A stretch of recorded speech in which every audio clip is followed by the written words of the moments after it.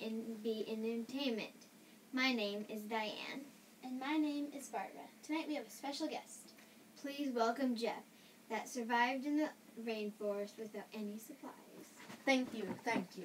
So, Jeff, how did you get to the tropical rainforest? Well, I was skydiving with my cat when he scratched my parachute.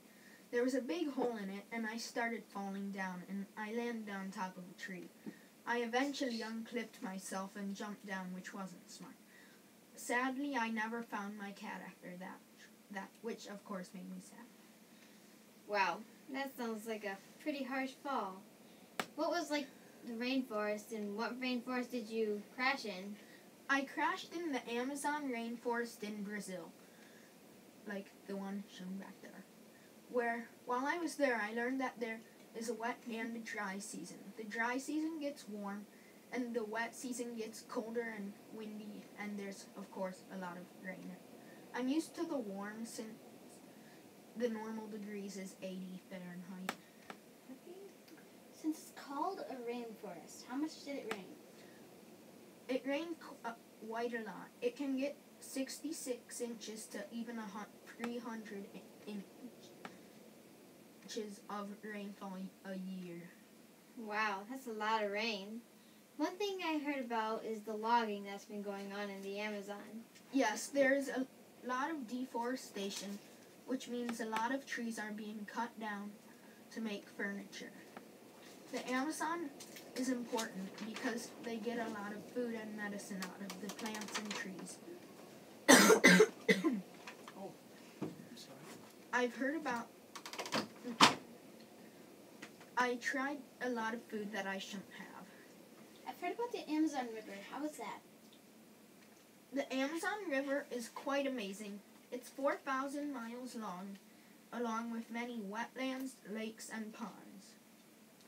Well, I think that's enough about the Amazon, even though that was very interesting. I want to hear about the plants and animals. Tell us about an interesting plant or animal. Well, you'll be interested to hear about the corpse flower, or its scientific name, the Rafflesia arnoldii. It can get to up to 90 centimeters wide and weigh up to 11 kilograms. It has big petals with red and white spots and is spiky on the inside, which I touched, and I it did not feel very good.